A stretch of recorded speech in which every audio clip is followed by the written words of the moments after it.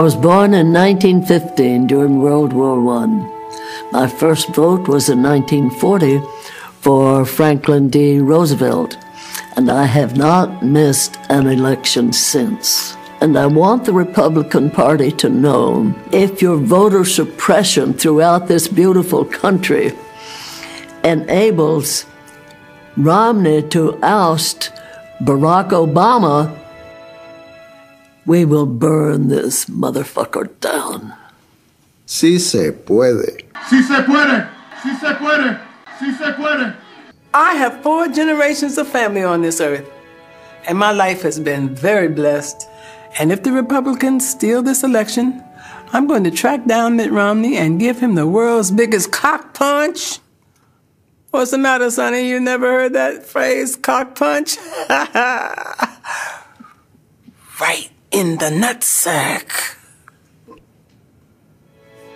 I served during World War II. I'm the last of my buddies still here.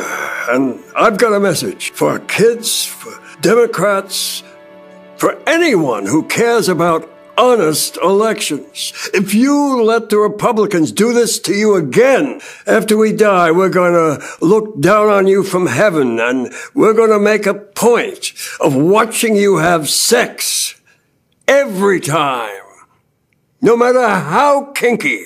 Especially if we are related. The best way to stop the GOP from stealing the election is to make sure it isn't even close. Go to.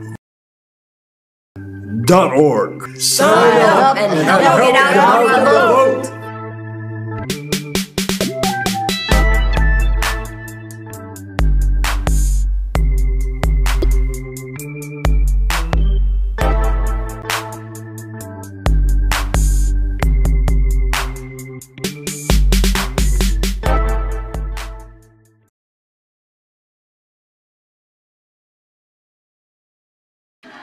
Thank you, everybody.